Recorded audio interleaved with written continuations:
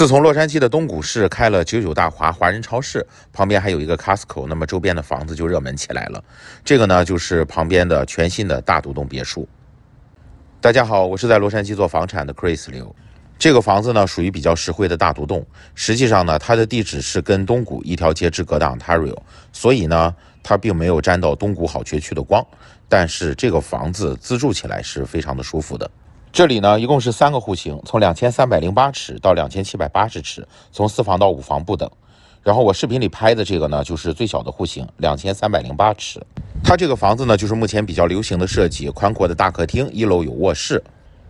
并且呢，带一个院子，这个是从七十五万左右起，它最大的户型呢，大概八十三四万的样子。这个呢是比较典型的自住房，如果拿来出租的话就会差一些，因为呢它的地税是百分之一点九五，因为这个房子呢总价低，如果是为了住的舒服，这个地税呢也是在一个可承受的范围。在社区里面呢配备了很多设施，然后离很近的就是九九大华超市和 Costco，还有 Eastville Gateway。周边呢有十五号高速，有六十号，有十号，所以出行是非常方便的。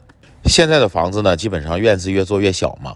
但是像这个房子呢，有一些地块都是有大院子的。另外呢，一楼有卧室，二楼还有额外的客厅，所以是双客厅四房，一楼有卧室的一个设计。这个是目前非常流行的。这个大主卧呢也是很舒服的。房子呢都是有优缺点的，这个要根据你的需求再看什么样的房子适合你。如果需要好学区呢，那么奇诺那边有差不多的户型的八十多万，也能解决上学的问题。更多的信息呢，可以看我的朋友圈或者单独来问我。感谢您的观看和关注，咱们下次接着聊。